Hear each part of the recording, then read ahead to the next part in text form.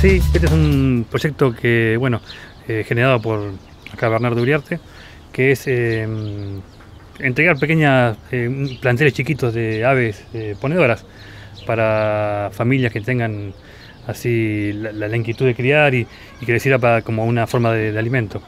Este, ya hemos entregado 70 más o menos hasta ahora, así en, de, a, 6 o 8 ponedoras este, y la idea es seguir, que esto continúe e ir entregando a gente que se anote en, producción. También ha salido gente del INTA. Eh, INTA tiene una, lista de pro huerta, a gente que le entrega semillas y, bueno, y, para que hagan quinta. También, también se le entregan pollitas. ¿Qué tal? Buen día. Eh, me encanta.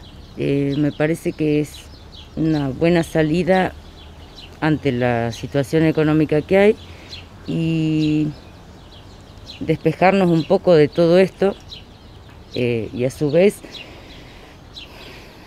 eh, tener una, algo propio y es lindo, es lindo. Eh, igual que lo que es la huerta, tener lo, nuestro.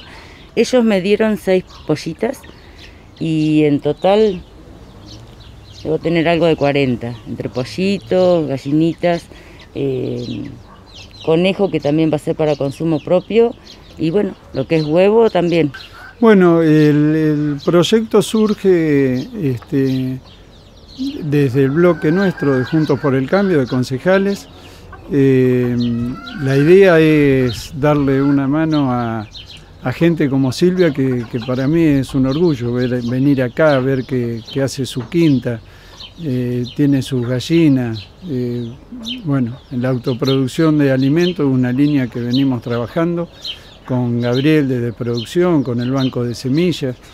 Este, bueno, y ahí surgió, el, objetivo es eh, las aves para autoconsumo, ¿no? Por eso entregamos, como decía Gabriel, seis o ocho aves según el tamaño de, de la familia y es un programa netamente municipal.